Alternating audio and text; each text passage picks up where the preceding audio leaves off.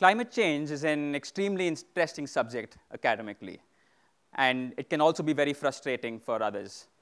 But everyone seems to be talking about it these days. My 83-year-old grandma calls it pralaya, or the end of the world.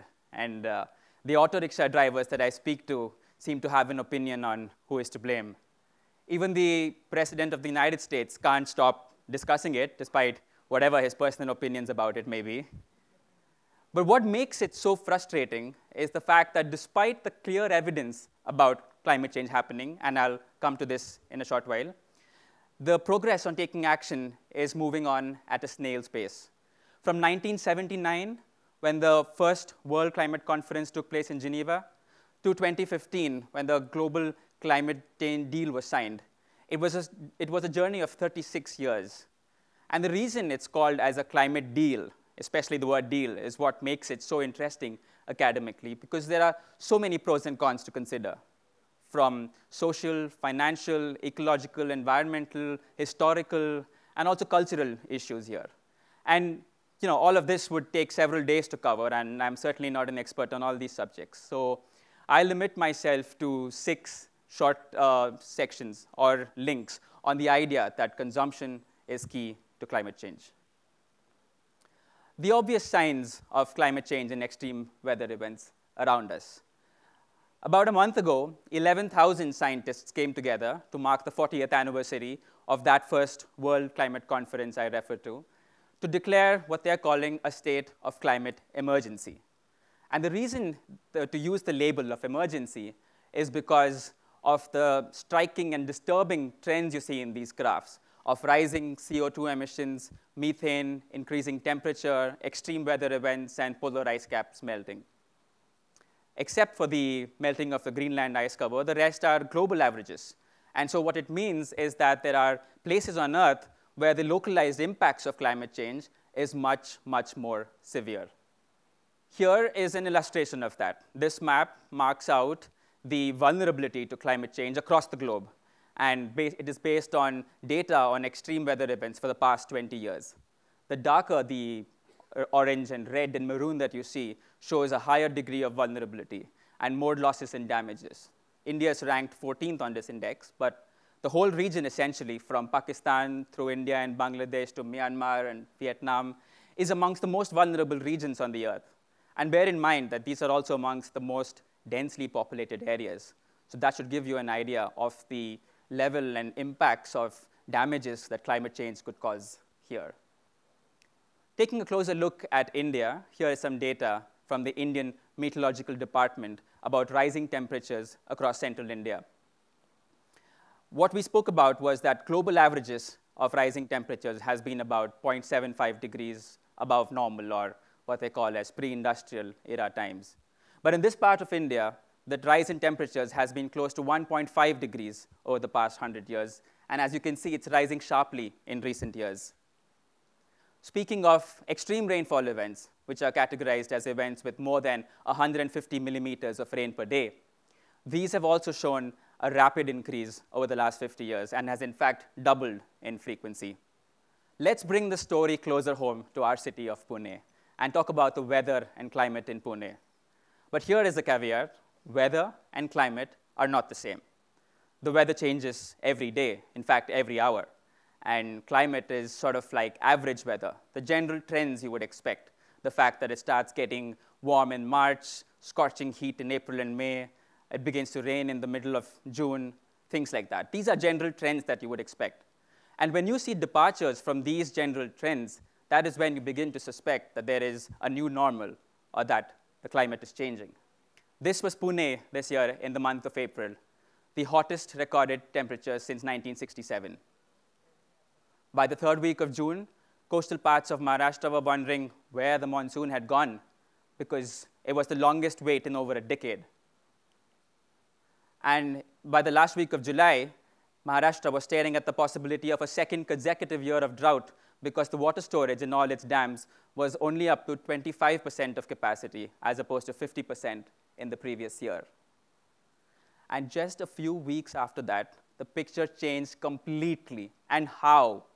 Over August and September, Pune received 200% of its average annual rainfall.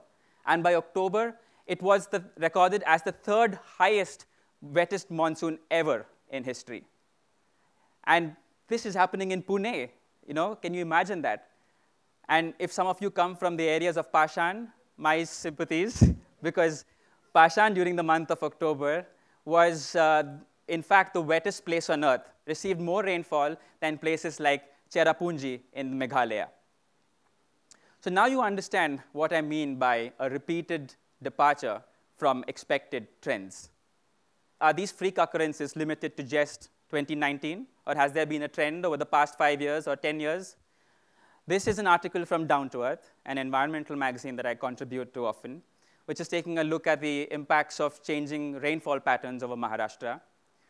Maharashtra is definitely a drought-prone area, and deficient rain occurs once every five years and a severe drought every eight to nine years. This has been the historical condition. But in recent years, what we are seeing is deficient rain is occurring every two to three years, and a severe drought once in every five years, affecting agriculture significantly. So if the signs of climate change around us is so obvious, why is it so hard to take action against it? With this question, we open a Pandora's box of historical responsibility, financial and technological capacity to deal with it, of modeling and trying to forecast what future vulnerabilities would look like. And every suggested action seems to have a trade-off between immediate benefits and long-term impacts. And who pays for these actions? The ones responsible for causing the climate change or the ones who are bearing the consequences of it? These are the kind of questions that puts you in such a controversy and deadlock negotiations that action on climate change becomes so slow to progress. By now, most of you here understand that the amount of CO2 in the atmosphere is what is responsible for climate change. And here is a graph that shows you the historical amount of carbon dioxide in the atmosphere and who is responsible for it. Just three countries, mind you, or three regions, the US, the European Union, including Britain for now, and China account for more than 50% of the global CO2 emissions in the atmosphere. And the vulnerable countries in South Asia, including India that you saw on the map earlier, account for a barely visible thin sliver. Even if you looked at current emissions, and the so-called fast-growing South Asian economies, including India, they fall well below the, the global average per capita emissions. Of course, if you consider the population of India, we do end up third in net emissions, but that is kind of obvious, I think, and a moot point because you're not really discussing where geographical boundaries are drawn or where political boundaries are drawn. If emissions are a consequence of consumption, of lifestyle emissions, that benefit individuals and private entities, then surely the costs and the burdens of dealing with it should also be distributed between the same individuals and private entities. Here is a graphic that illustrates the disparity in lifestyle emissions even more.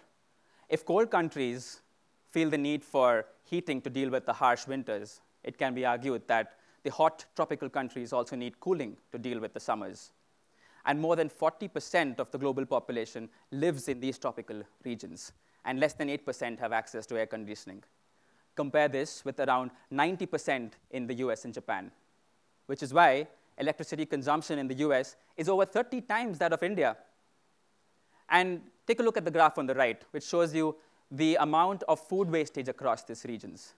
I mean, there should be no reason for this to be happening at this scale, which is why I say that emissions are a result of consumption, our lifestyle, and the state of economy. This is a, a humorous cartoon a friend of mine who works at Down to Earth uses to illustrate the point of where climate change action stands right now. It seems to be about privatizing the benefits and socializing the burden. But this is the biggest stumbling block in taking action on climate change today. The fact that people are not willing to put lifestyle on the negotiation table is what is preventing faster action from taking place. So what happens if these questions about who is responsible for climate change, who takes action, who pays for it, and whom is technology transferred to, if these questions are not resolved quickly, what is going to be the future like? There are various scenarios and models to predict this, and while they may differ on some aspects, there are some elements that they all agree upon. which is the fact that by the 20, if you don't take urgent climate change action, by the 2020s, you would see widespread droughts, storm surges, and heat waves. By the 30s, you would see and the devastation of coral reefs and the Arctic possibly becoming ice-free. And by the 2040s, you might see armed conflicts and resource wars because of the amount of water and food insecurity. Some of you in the audience might feel this is a bit of fear-mongering from a typical climate activist. But there are perhaps signs that many of these predictions are already coming true. There are subtle but definite shifts in the climate patterns which have long-term consequences. For example, the late arrival of monsoons is reducing the growing period for crops, which has reduced the yield of them already.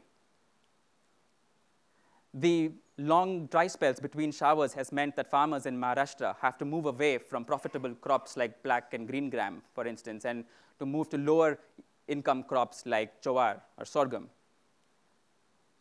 And the impacts of the lower yield and extreme weather events has meant that it's affecting the Indian economy significantly, up to 1.5% of its GDP. Remember the 2018 water crisis in Cape Town? During this period, each person in Cape Town was allowed just 50 liters of water per day. Compare this with what we consume on an average in Pune, which is a luxurious 200 liters per day. And there are various models that talk about the risks of such an event happening again. They may differ a little, but on an average, they say that the risk is already increased to thrice. And doesn't matter what your, whether you're rich or your higher per capita income, it is not going to insure you against such extreme weather events. And how about armed conflicts and resource wars? These might not be too far off either. The Indus is a river that flows between India and Pakistan, as you know, and a mixture of mismanagement of irrigation and use of water-intensive crops and climate change has meant that the river has reduced to a trickle in parts. And the two countries uh, keep threatening to tear up the 1960 Indus Water Treaty. Such flashpoints could easily trigger into a larger armed conflict, as has been seen in the unstable parts of West Asia or Africa. So these business as usual scenarios that I talk about seem quite scary, but like every cloud has a silver lining. These, there are incredible stories of hope, improvements in technology, inspiring people and organizations, and clear actions that you and I can take. The technology story has many aspects to it. For instance, the huge improvements in efficiency in room lighting, for instance, has dropped significantly over the past 50 or 100 years. The viability of using solar and wind has meant that it has become cheaper than gas powered already, and it might soon become even cheaper than coal power. There is incredible work happening at the grassroots to help rural communities adapt to climate change. About 50% of India is dependent on agriculture, and along with allied livelihoods like livestock, fisheries, and forestry, these um, climate-sensitive livelihoods make it extremely sensitive to changes in these weather patterns. Watershed Organization Trust, WOTR, where I work, is doing a lot of interventions to help build resilience to climate change. For example, the pictures on the right show interventions to help mitigate the impacts of droughts and floods through a mixture of watershed development, soil and water conservation. And we are also providing real-time information to farmers through a network of weather stations and locale-specific weather-based agro-advisories that come to the farmers through their mobile phones in local languages so that they can take quick actions about changes in weather conditions. But while we talk about these silver linings, we must remember that some of these clouds are very dark indeed. In 2015, when the world came together to sign that first global climate deal, what they agreed upon was to, to make sure that global warming doesn't exceed 2 degrees centigrade, or preferably less than 1.5 degrees. And here is a comparison of the different countries and where they stand in terms of their commitments. As you can see, the efforts taken by very few countries is compatible with a 1.5 degree scenario or a 2 degree scenario. India is one of them, but will it remain there? And for how long? especially if you, can, if you consider the fact that we have over 300 million people living below poverty line. And what does that look like? Not having a toilet in the house, having to walk more than 15 minutes just for drinking water, uh, education being just about being able to read, medical facilities being available only for severe health illnesses or pregnancy, four or more people sharing a room as small as five meters square. Over the next couple of decades, hundreds of millions of people around the world are going to be lifted out of poverty. And with that is going to come an increase in consumption of goods and services and associated emissions. Many of these are the fundamental rights of these people, and so it is but obvious that they should have access to it. But we can do a lot more to grow in a responsible way, provided that responsibility lies with us and not on the poor people we just spoke about. And this brings me to my last section on why the fight depends on you and me. If you analyze emissions, you would realize that more than 75% of it comes from lifestyle-related emissions which are generated within your households. And these could be across uh, sources like nutrition, mobility, housing, consumer goods. The graph on the right shows the wide range of emissions from these same sources between 10 tons per capita to 2 tons per capita, depending on where you come from, Europe, Asia, or Africa, or South America. The point here is that these sources are all within our control. And whether you take common actions like reducing food wastage, meat consumption, ride sharing, or whether you take more customized solutions like finding appropriate sites for solar and wind technology, or changing your construction and architecture to make homes more uh, insulated and reduce the heating needs. These are all viable options. To illustrate this point, let us just take the first source of food consumption and compare what it looks like between a typical European country, say Finland and India. Now, the average Finn is, of course, a foot taller than us and about 10 to 15 kilos heavier. But that shouldn't be the reason why the carbon footprint of their food consumption is about three and a half times that of ours, unless there is a lot of processed foods, meat consumption, food wastage, uh, etc., involved. And it is an example such as this that you begin to get a sense of foreboding of where India might be headed to were we to follow a similar development trajectory of big houses, big cars, more air conditioning, fast fashion, etc. India has always been a low consumption economy, and our per capita emissions have been amongst the least, especially amongst the large economies. But as we grow and catch up with the developed countries, we will have to make sure that our choices remain prudent and we don't repeat historical follies. Today, we have the opportunity to redefine development and make sure that it is decoupled from such high emissions. And to illustrate this is my last and final example of transportation in the same example of Finland. By not changing your lifestyle emissions too much and your lifestyle patterns too much, just, and just making a few responsible choices, you can reduce your transportation footprint to a quarter by shifting modal transport to public transport, ride sharing, electrical vehicles, and things like this. And it doesn't even have to be a 100% change. What you see in the red and orange graphs show that even a 15 to 30% adoption can bring about a significant change. So today, the choices of what we do lie with you and me, of the food, housing, clothing, recycling, and reducing uses of products. All these things will lead to lower usage of natural resources and keep climate change within manageable limits. And so I urge you to take that one additional responsible step today, which may well be the step that makes India a leader in sustainable development and an example for the world to follow. Thank you.